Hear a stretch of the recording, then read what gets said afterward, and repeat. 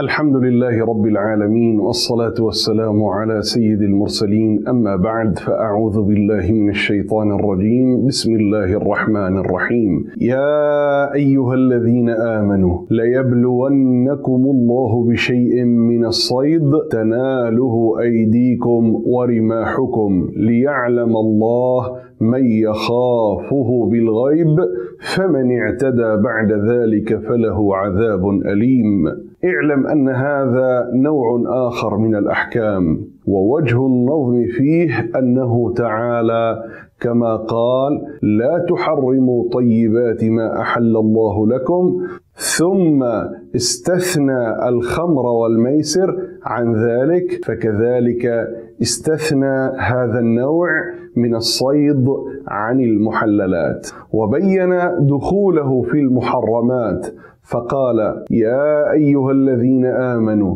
ليبلونكم الله بشيء من الصيد تناله أيديكم ورماحكم أي ليختبركم الله سبحانه وتعالى في حال إحرامكم بالحج أو العمرة بشيء من الصيد تنال صغاره الأيادي وكباره الرماح.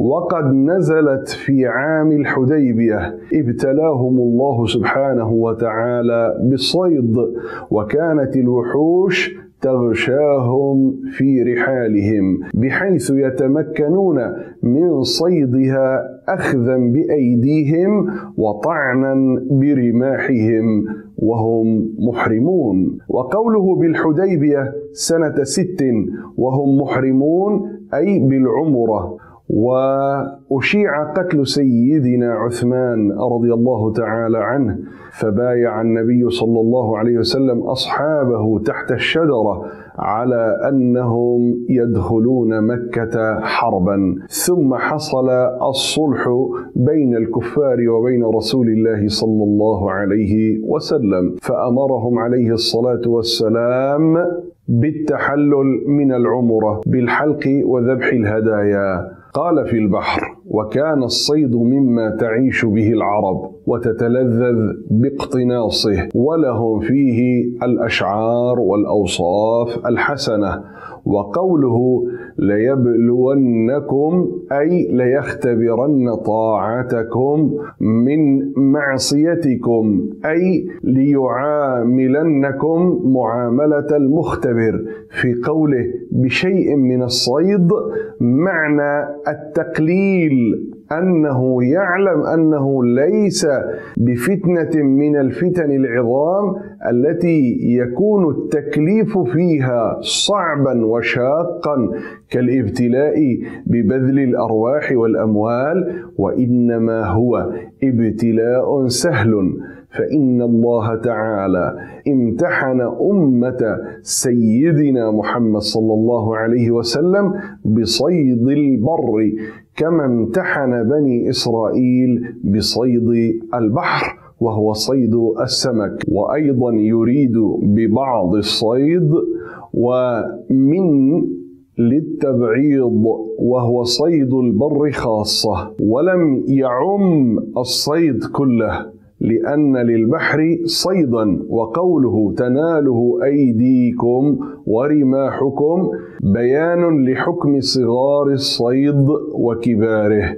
قال مجاهد الأيدي تنال الفراخ والبيض وما لا يستطيع أن يفر والرماح تنال كبار الصيد ليعلم الله من يخافه بالغيب أي ليتميز الخائف من الله عز وجل بطريق الغيب لقوة إيمانه ممن لا يخاف الله سبحانه وتعالى لضعف إيمانه. ومعناه قيل نعاملكم معاملة من يطلب أن يعلم وقيل ليظهر المعلوم وهو خوف الخائف والتقدير ليعلم أولياء الله من يخافه بالغيب وفيه وجهان. الأول من يخافه حال إيمانه بالغيب كقوله يؤمنون بالغيب. الثاني من يخاف بالغيب أي يخافه بإخلاص وتحقيق ولا يختلف الحال إلا بسبب حضور أحد أو غيبته كما في حق المنافقين الذين واذا لقوا الذين امنوا قالوا امنا واذا خلوا إلى شياطينهم قالوا أنا معكم فمن اعتدى بعد ذلك فله عذاب اليم. اي فمن تعرض للصيد بعد هذا الاعلام والانذار فله عذاب مؤلم موجع. والمراد عذاب الاخره والتعزير في الدنيا. قال ابن عباس رضي الله تعالى عنهما هذا العذاب هو أن يضرب بطنه وظهره ضربا وجيعا وينزع ثوبه. وقال حاكيا عن سليمان في الهدهد لأعذبنه عذابا شديدا. فيضرب ضربا وجيعا مفرقا بين أعضائه كلها ما خلا الوجه والرأس والفرج ويؤمر بالكفارة لأن الاعتداء بعد ذلك مكابرة صريحة وعدم مبالاة بتدبير الله وخروج عن طاعته سبحانه وانخلاع عن خوفه وخشيته بالكلية والإشارة في الآية أن الله جعل البلاء للولاء كاللهب للذهب فقال يا أيها الذين آمنوا إيمان المحبين الذين تجردوا عن ملاذ الدنيا وشهواتها من الحلال وأحرموا بحج الوصول وعمرة الوصال ليبلونكم الله في أثناء السلوك بشيء من الصيد وهو ما سنح من المطالب النفسانية الحيوانية والمقاصد الشهوانية الدنيوية. تناله أيديكم أي ما يتعلق بشهوات نفوسكم ولذات أبدانكم ورماحكم أي ما يتعلق بالمال والجاه. ليعلم الله من يخافه بالغيب وهو يعلم ويرى.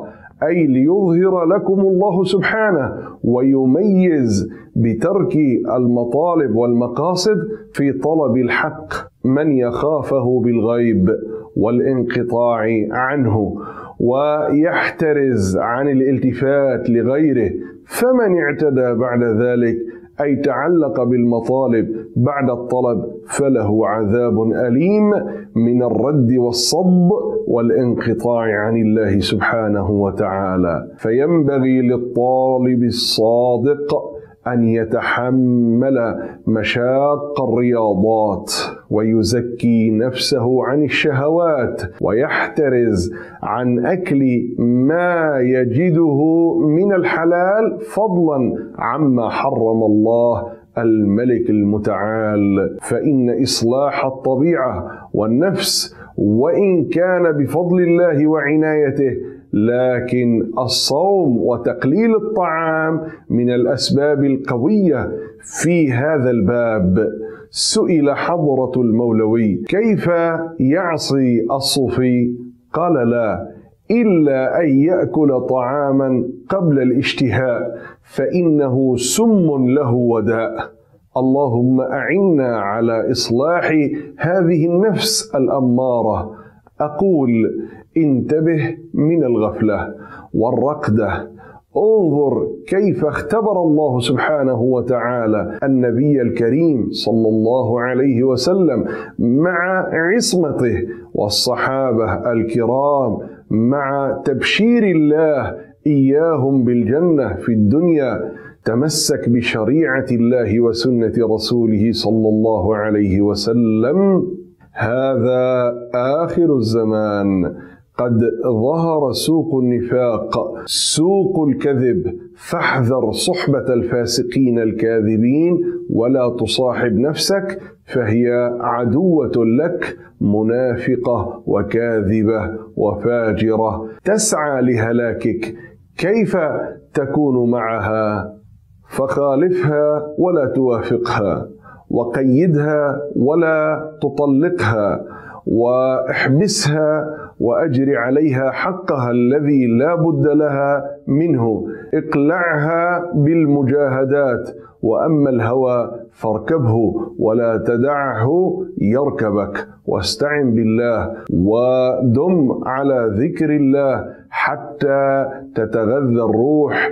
فتسهل عليك الطاعة وتسهل عليك الطاعة وأخلص في العمل حتى ينفعك القليل منه.